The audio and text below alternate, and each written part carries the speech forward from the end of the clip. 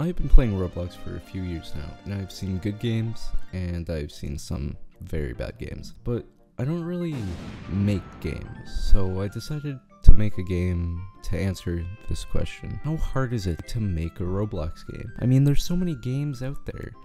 And a lot of them just like look like the same game, just retextured and like a few things changed like all the pet simulator like games and like the arm wrestling simulator like games like so how hard can it really be? Okay this was the first idea which took a lot of time and we couldn't get the code to work so that's why we stopped making it. Now you might be thinking we? Who is we? Well i tried making this game on my own but then my friend tucker was like uh, so you, I, I see you're making a game. Uh, I'll, uh, I'll, I'll sponsor the game. Uh, if you let me join.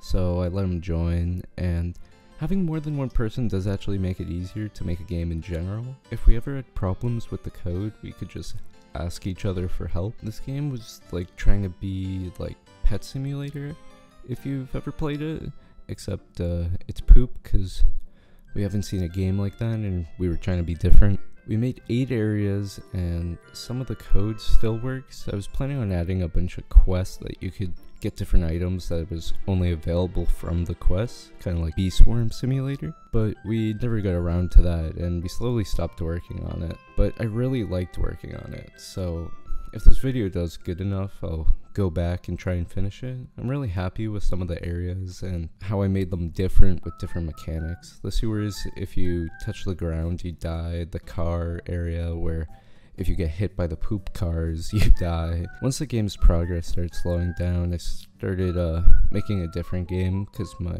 friend wasn't around as much, so I thought it could be faster and it could be better. The second game I worked on on my own and had many different styles changed to it.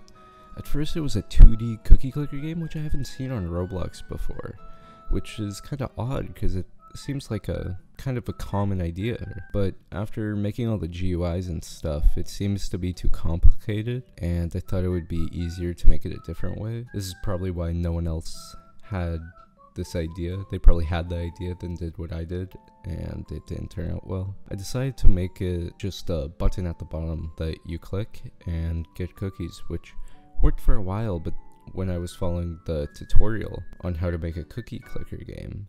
But then I tried to add my own stuff to it and ruined the code. And now I don't know how to fix it, so I tried to fix it, but then I made it worse, and now I think the game's unfixable, which is a shame because I really liked the game I idea. This game has a lot of problems with it, which is why I abandoned it. But I do think I'm starting to understand Roblox code more easier, which could be helpful if I ever go back and fix this game. Alright, I'm gonna be honest with you, this game's probably the worst one that I made, but I tried my best and that's all that matters, right? So Roblox has these free templates that you can use. So I may have, you know, used the line runner game and changed it to kind of look like the dino running game, but I didn't change it too much and didn't do any coding because I was done with coding. I did try to add a saving to server kind of thing, but I gave up after like two hours and it still didn't work. So sure, this game might not be the best, but I'm still gonna advertise it. So this game might be the worst one, but I still bought 400 Robux to advertise the game, which is a lot of Robux for me because I usually don't like to buy in game coins. Now, there's two different ways you can advertise your game, and it's either with those little banners that you see on the side of Roblox if you're like in your home area, or the sponsored game area of Roblox, a little category. Now, I'm not good at making any banners. I mean, look at my YouTube banner it's not too good. But I did make an icon and it looked kind of good, which I really liked. So I decided to just do a sponsored game instead of the banner. I also didn't want to be in a bidding war that Roblox does with banners because I feel like 400 Robux are not gonna get me that far when it comes to a bidding war. So after making some icons for the game and two game passes that do nothing and made just in case. I made a two day 200 Robux per day sponsor. So after two days, here's what happened. So it got 80,000 impressions and 138 clicks and only 70 people actually joined the game and nobody favorited it. And according to Roblox, the CPP was 7 Robux per play, which I, I don't think is good. So overall it did not seem like the game was well received and overall I think the sponsor was a fail. No one bought the Game Pass. I'm not surprised because they did nothing. So I think if the game was better and I'd spent more time on icons, it could have been a more successful sponsor. In the end, I've learned a lot. I always thought making a Roblox game was going to be easy because of all the games that are basically rescreened versions of each other. But what I've learned is most of the time, these big games are not made by like one or two people.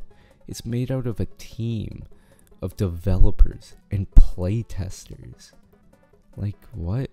I joined a random Discord and there's like seven developers and like 15 playtesters. Like, what, man? I've also learned how hard it is to make a game. Like, it's so hard.